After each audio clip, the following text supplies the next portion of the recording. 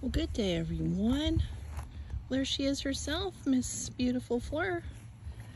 Have you guys ever noticed that horses have a muscle system that they can just twitch a fly right off of them?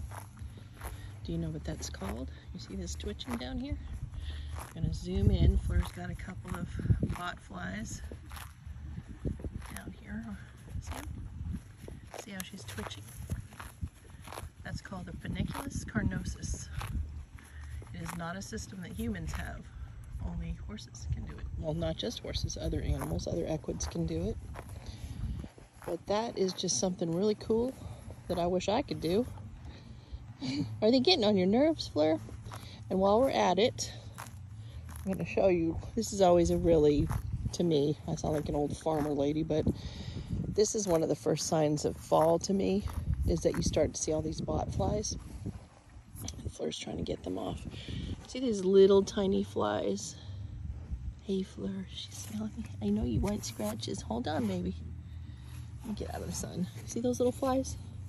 Those are bot flies. They look just like horse flies. Fleur's rubbing on me.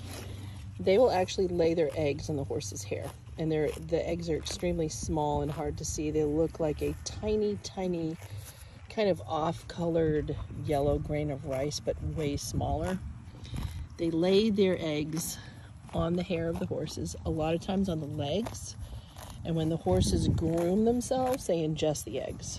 And then the eggs get to the larval stage uh, inside the horse in the stomach lining or the intestinal wall, anywhere inside the digestive system.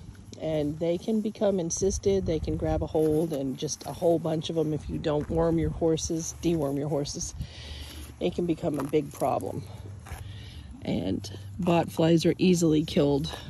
The eggs and the larvae are easily killed with ivermectin, which is probably the most inexpensive dewormer. See them on her mane? I know they're bothering you. And she's been fly sprayed. Those are bot flies. They look like teeny tiny house flies, but they are pretty harmful you don't make sure you deworm your horses. That's it. If you have any questions about that muscle system, the twitching muscle system, or bot flies, I'm happy to answer questions, and I love to hear what you have to say. You know what to do. Just put it in the comments. And as always, watch out. I hope you have a wonderful day.